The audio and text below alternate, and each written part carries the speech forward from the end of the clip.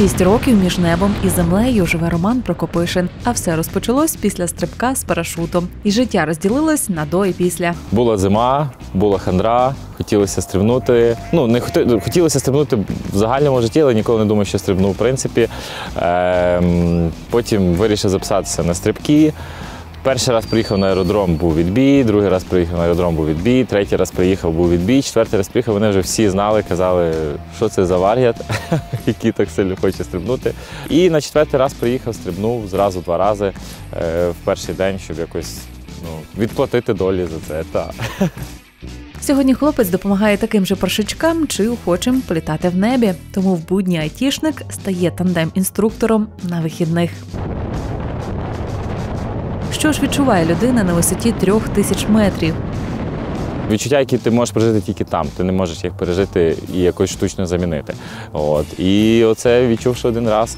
Е- ти вже хочеш це відчувати знову і знову. Перший стрибок точно додає впевненості, і я його дуже рекомендую людям, які не те, що не впевнені, а які в якомусь такому е- знаходяться стані або часі, коли хочуть щось змінити в житті. Оце дуже часто люди іменно в такі е, моменти таки наважуються на цей стрибок, і вони. Е, Напевно, що щось собі відпускають, щось собі знаходять, щось собі більше розуміють. Тандем-інструктори проходять відповідне навчання, повинні мати дозволи та не менше півтисячі стрибків з парашутом. Безумовно, велика відповідальність, тому що з тобою людина, яка стрибає перший раз, е, вона її не можна звинуватити, що вона робить щось не так. І задача нам інструктора саме виправити будь-які нюанси, які можуть виникнути. В якісь моменти, скажімо так, інструктор.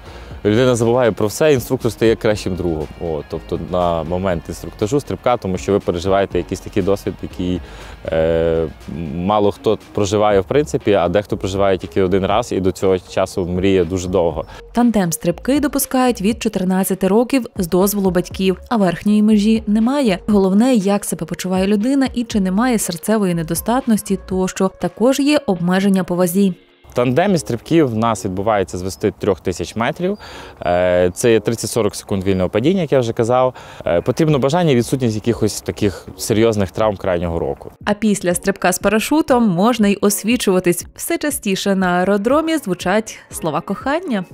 Це, я думаю, людям запам'ятовується однозначно. Приємно бути дотичним до таких речей.